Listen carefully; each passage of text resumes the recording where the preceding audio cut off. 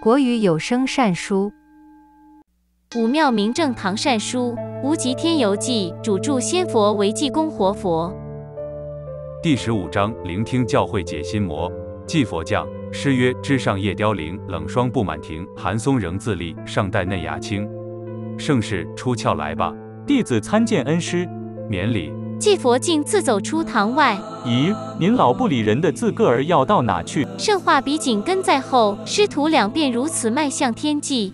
用走的逛逛，年终了，小小子有什么感想呢？年复一年，日复一日，只想把大道的书圣推广周知，也不知道有没有进步。进步当然是有的，尤其贵堂贤生们戮力宣扬，其实有目共睹。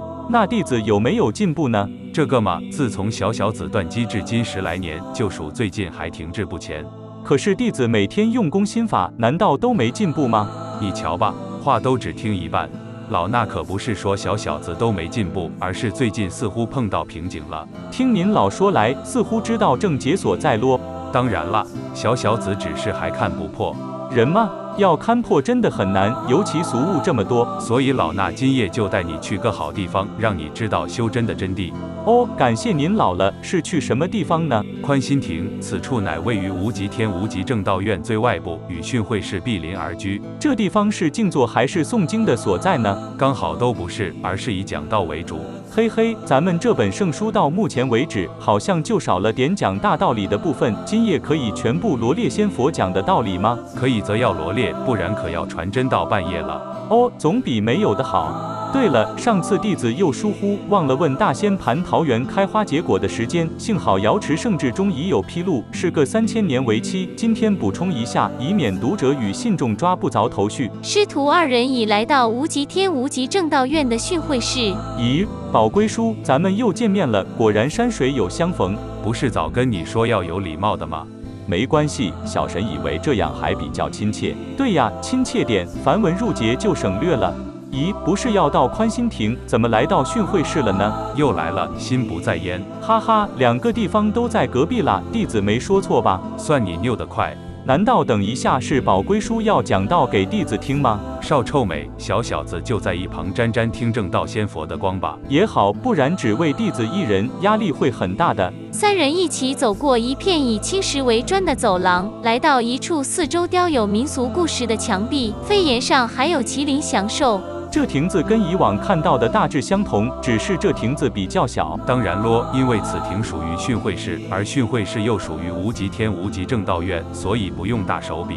哦，这么说来，能来这里的也只有从凡间无极正道院正道的仙佛咯。是的，这些来听讲的都是才刚消完宿业，所以总要再加紧宣讲，以免一时差错误入魔道了。怎么说呢？都成正仙佛了，还会误入魔道呢？因为就怕彼等以为宵夜修道极为容易，而疏忽了本法门的殊胜。原来如此。三人走入讲堂，宽心亭中的仙佛闻讯，立刻起立恭接罗汉。小神上有任务在身，先跟祭佛辞退了。哪的话，咱师徒听听就要回堂了，稍待一会就不互相辞。别了，宝龟叔加油！加什么油呀？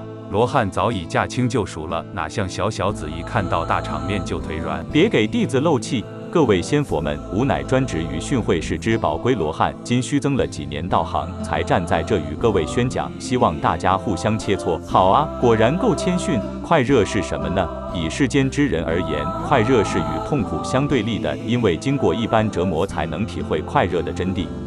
但以仙佛而言，快热是什么呢？无神已抛却了情绪，所以只要真切认识到即自己就是快热。太深奥了，弟子有听没有懂，一直分心插嘴，怎么会懂呢？修真是求得解脱，在解脱前就需先消业，而诸贤们历经了消业阶段，有的可能以为消业修真甚为容易，其实并非如此。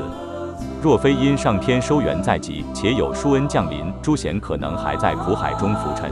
有理。所以修真以后，就是以将诸多磨难戾气转化为正向的能量。换句话说，魔佛虽不二力，但成真者时时易受魔扰，因此应把魔扰视为精进的力量。到了仙佛的境界，还是有考验的吗？当然，未真至佛果之刚正时，便有诸多考验。许多若非经无极正道院教诲的，就很容易出差错。接受磨难，将磨难视为喜悦，就不怕磨难或道考来临。嗯，这句话真是中肯。小小子把这句话牢牢记住，就可以突破目前的瓶颈了。好了，回堂去了，刹那间，师徒已回至堂内。咱们开春后再见咯。您老真爱开玩笑，下礼拜还有一次，您老可别临阵脱逃，要有始有终。下周有个年终大回馈，别卖关子了，不是要游览天医院吗？卵期满了，好歹也要等这本圣书完成。反正都是老衲带领，小小子就不用担心了。那就是要随机著书，一下往天医院跑，一下往无极天跑咯。静候佳音吧，投体去。是，弟子恭送恩师。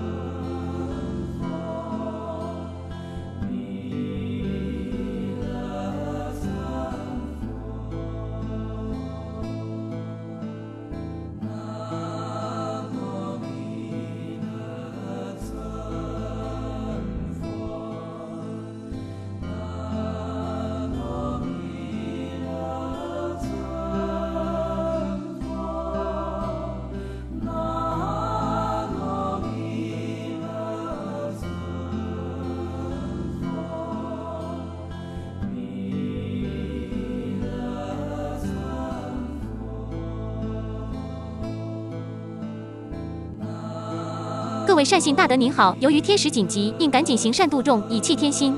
目前南天直辖五庙明正堂正在募款新建凌霄宝殿，期望众人有钱出钱，有力出力。相关资讯可至南天直辖五庙明正堂网站详阅。喜欢影片记得按赞或分享，可以让更多人知道上天的用心。记得订阅以及开启小铃铛，未来会随时公布新的影片哟。